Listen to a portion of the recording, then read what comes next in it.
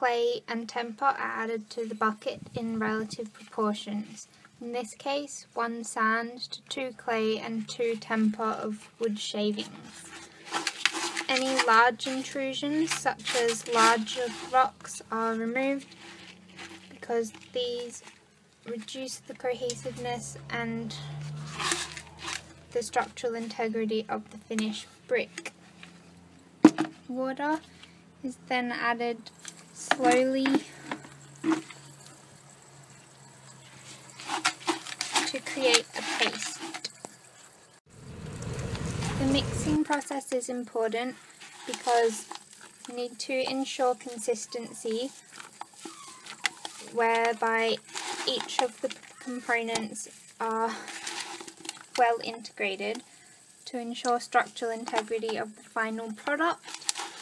Also, the amount of water needs to be controlled quite closely because if there is too much water, the evaporation in the drying process will decrease the structural integrity of the brick by differential shrinking as the clay dries. Different amounts of water will be required depending on the relative proportions of the additions. More clay will require more water to maintain, to get a cohesive structure. This texture is ideal because it will not take too long to dry, there's not too much water and it's very plastic. Pockets of air will decrease the structural integrity of the brick so pressing the product into the brick mould needs to be done with quite a lot of force and consistency.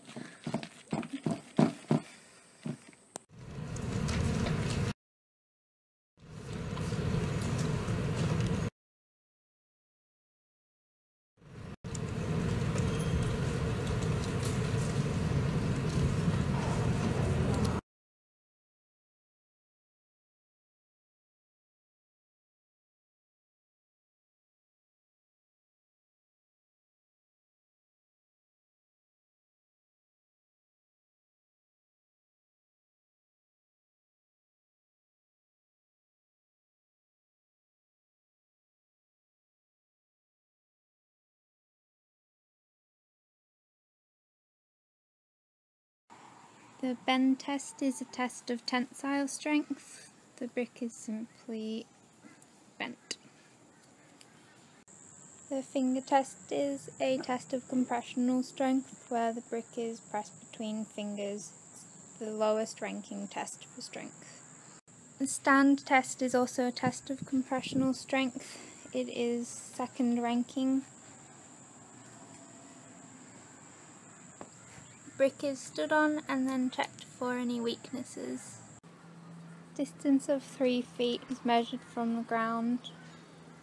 Brick is then dropped from 3 feet.